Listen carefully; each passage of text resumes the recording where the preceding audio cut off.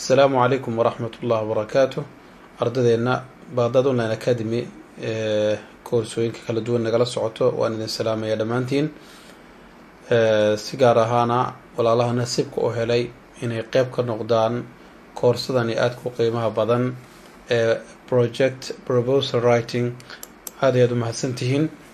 Hambalyo ayadan idin leeyahay.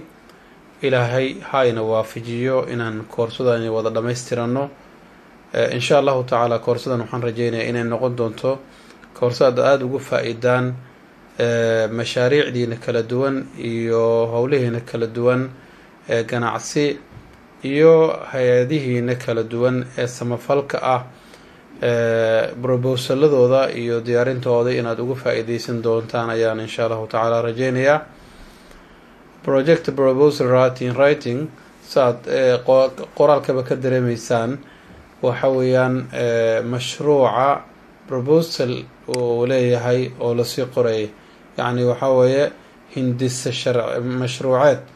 Mashruuca hindisihiisi oo la qoro. Yacni mashruuca la doonaya in la fuliyo hindisihiisa oo qoraal ah ayaa waxaa la yihahdaa project proposal writing.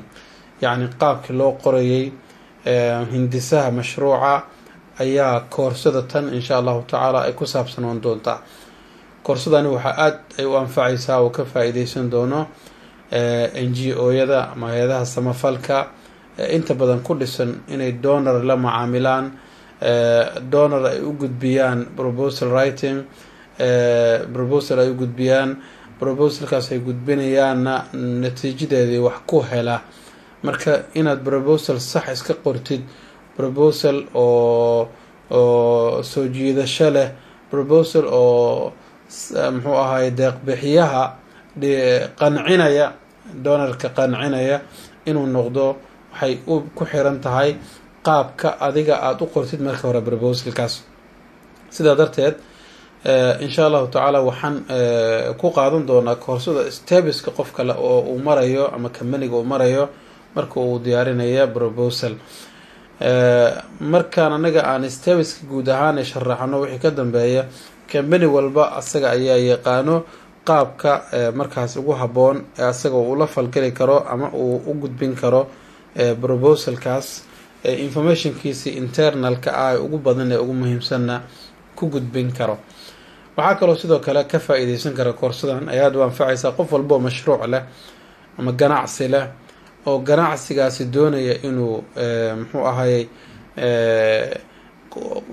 qolada supplierska ah ama cafwan qolada customarka asaga wax ka iibsanaysa inuu ku qanciya mashruuciisi doonaya asagana proposalkaasuu qorayaa yacni mathalan aan ka soo qaadno shirkad waxay u baahan tahay in ay koronto soo iibsato waxay u baahan tahay solar inay soo iibsato waxay u baahan tahay inay raashiin soo iibsato waxay u baahansan tahay inay qalab soo iibsato waxyaabahaas kala duwan ee shirkadda ay soo iibsanayso waxay dalbanaysaa kambaniyo kala duwan inay soo gudbistaan probosaladoodii ay ku muujinayaan inay yihiin qolada ugu habboon inay bixiyaan mashruucaas ama ay qaataan mashruucaas.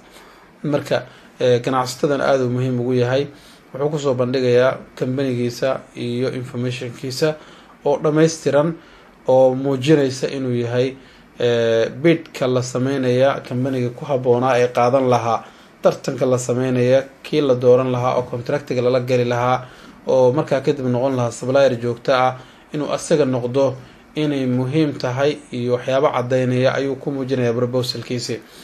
Waxaa kaloo sidoo kale uu anfacaya mashaariicda khaaska ah ganacsada yaryarka ah qofkaas kale inuu proposal writing ku samaysto. Marka insha allahu tacala hadduu ilaah iraahdo koorsadeena inta ay socoto canaawiinta ama cutubyada aan ku qaadan doono waxaa ka mid ah inaan marka hore isku weydiin doono waa maxay project proposal writing? Project proposal writing ayaan isweydiin doonaa qeexitaankiisii. Kadibna the importance of proposal writing ama why proposal writing su'aashaasaan ka jawaabi doonaa si waa maxay muhiimada uu leeyahay in hindise qoraaleed la sameeyo mashruuca ku saabsan waxaa kaloo ka hadli doonaa insha allahu tacala qeybaha kala duwan uu ka koobnaan doono hindisahaasi oo oo kale ah. Mathalan organization organizational background kambanigaadad ka hadlaysaa iyo wuxuu yahay project problem statement iyo mashruucan adiga aada dooneysid inaad muxuu ahaayey dabooshid ama aada ka shaqaysid iyo problemka jira xaqiiqada ah sharixitaankiisa project methodology iyo mashruucadi markaad fulinayso methodologyga aad isticmaaleyso project planning and implementation qaabka loo qorsheynayo mashruucaasi fulintiisa sidii loo fulin lahaa project evaluation sidii aada u sameyn lahayd evaluationka mashruuca iyo qiimeyntiisi aan ula jeednaa. Project budget mashruuca wuxuu u baahan yahay miisaaniyad miisaaniyadiisa sidii loo diyaarin lahaa project impact mashruucan haddii la fuliyo saameynta uu yeelanayo iyo sida looga faa-iideysanayo uu faa-iido u leeyahay. Iyo insha allahu tacaala gabagabadii oo conclusion aan sameyn doono oo aan ku muujin doono si kooban waxa anaga aan dooneyno bal aan horey u galno aan bilaawno qeybtii ugu horeysay what is project proposal? Proposal project proposal markay aan maqalno ama hindisa qoraa mashruuceed maxaan uu ka dhigan yahay project proposal proposal marka la yiraahdo waa waa documenti bilaaw ah oo loo isticmaalo in lagu qeexo internal or external project. Yacni mashruuc oo internal ah ama mashruuc external ah ama gudaha ama dibadda ah in lagu qeexo ayaa loo isticmaalaa proposal project proposal. Yacni markaad maqato project proposal automatically waxaa niyadaada ku soo dhacaya documenti inuu meesha yaallo. Documentigaasi maxaa loo isticmaalaa? Documentigaas waxaa loo isticmaalaa in lagu qeexo kambaniga internal iyo external. Yacni kambaniga externalkiisii ayaa lagu qeexayaa oo gudihiisa iyo wuxuu yahay iyo siduu u shaqeeyo iyo adeegyaduu qabto iyo awooddiisa intuu la egyahay partneriska xiriirka uu la leeyahay iyo waxyaabaha lamidka ah. Project proposal documentiga ah wuxuu qeexayaa mashruuca laga sameynaya muxuu ahaa proposalka iyo ulajeedada loo sameynaya mashruucaas iyo waxyaabaha laga filaya inay ka soo baxaan mashruucaas haddii la sameeyo iyo tillaabooyinka la qaadayo ee lagu mashruucaasi lagu dhammaystiri doono. Yacni markaan maqalno project proposal waxaa noo soo sawirmaya documenti documentigaas ulajeedaa laga leeyahay. Ulajeedadiisii in problem lagu xaleeyo wooyaan problemkaasi markii mashruuca la fuliyana outcome ayaa ka soo baxaya. Outcomekaasi wuxuu noqonaya ayuu cadeynayaa sidoo kale projectigaas markii la fulinaya stabiska la marayo si mashruuca loo dhammaystiro ayuu muujinayaa. Marka project proposal iyo project contract labay kala yihiin. Mararka qaarkood in laysku qaldaa laga yaabaa laakiin project contract marka la yiraahdo waa formal agreement oo u dhexeeya laba company ama laba qeybood si ay mashruuc u dhammaystiraan. Yacni mathalan customer iyo supplier ayaa waxay iska kaashanayaan mashruuc fulintiisii.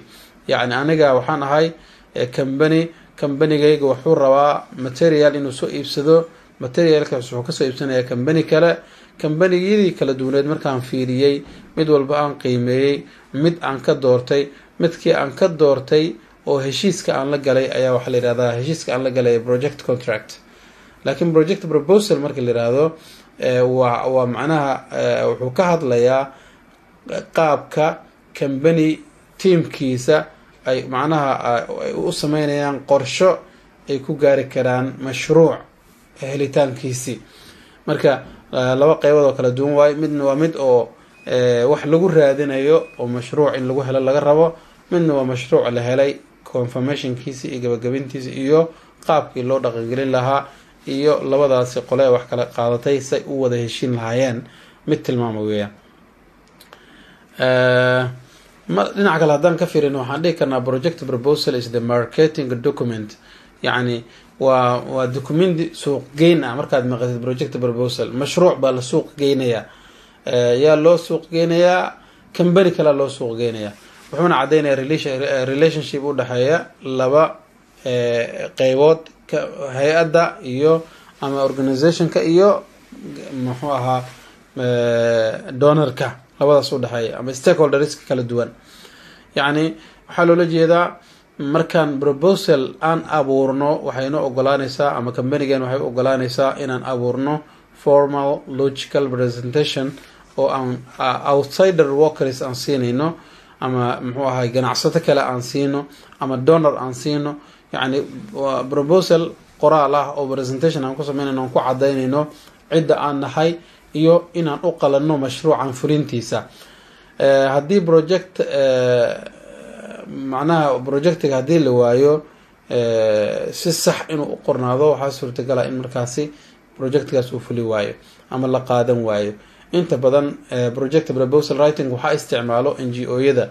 N g o-gana haddii project funding oo uusan sameynin oo muuqdo oo cad oo awoodihiis uu ku soo bandhigaya iyo ulajeedada ule ku soo bandhigaya hadduusan sameynin waxay u badan tahay in lagu soo celiyo projectgaas ama laga qaato.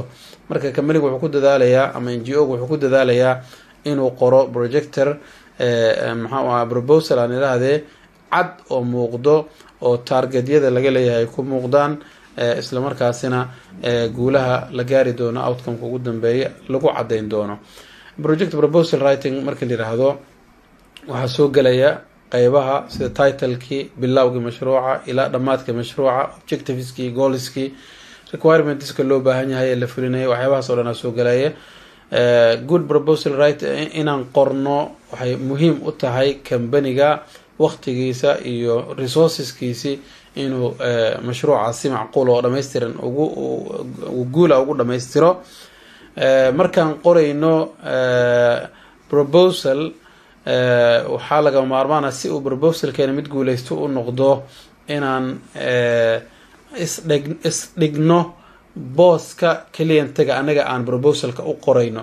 Yacni donorka anaga aan u qorayno proposalka booskiisa aan isdhigayna annagoo xiranayna kabtiisi labiskiisi yacni si kumeel gaar ah u niyeysanayna macnaha muxuu u baahan yahay? Waxa uu danaynaya maxay tahay ereyada uu danaynaya qaabka uu danaynaya mashruuc uu danaynaya noocuu yahay. Marka hore markaan informationka asaga ku saabsan aan helno siduu wax u rabo aan ogaano ayaan anagana proposalkeeni waxaan u qoraynaa sida asaga wax uu u rabo si markaasi proposalkeen u noqdo proposal guuleysto waxaan rajeynaya insha allahu tacala inaan isla fahnay waxaa loola jeeda proposal writing iyo sababta proposal loo qoro waxay tahayba maxaan proposal u qoraynaa muhiimada uu leeyahay waa maxay proposal? Su'aalahaas o dhan insha allahu tacala ka jawaabnaan rajeynayaa intaan xalaqa kale ku kulmi doono intaasaan ku soo gabagabaynayna wabillahi towfiiq wassalaamu calaykum waraxmat ullahi wabarakatu